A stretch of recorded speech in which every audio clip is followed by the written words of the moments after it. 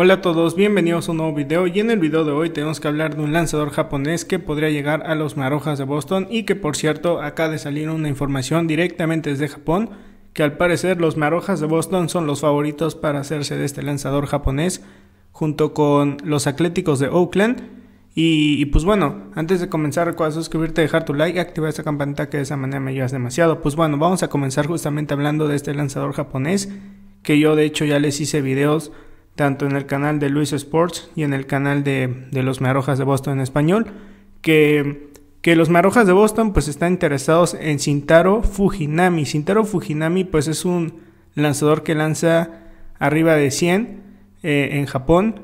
Logró caminar 70 bateadores en 169 entradas en el 2016, luego 45 bateadores en 57 entradas en el 2017. Es un hombre que pues, ha batallado con el descontrol pero ha ido mejorando.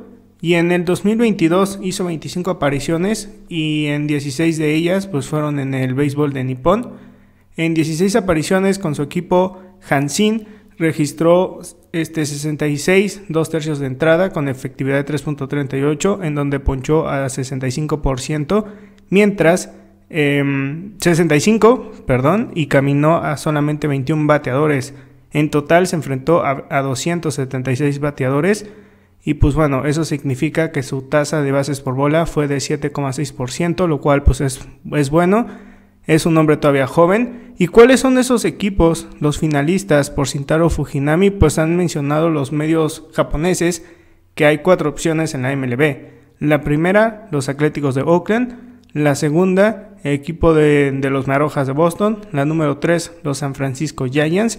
Y la número 4, los Arizona Diamondbacks. En dado caso de que no, no firme con ninguno de esos cuatro equipos, estaría regresando al béisbol japonés con su equipo, el Hanshin Tigers. Y pues bueno, vamos a ver si los Marojas de Boston terminan firmando a Sintaro Fujinami, que a mí en lo personal no me disgusta.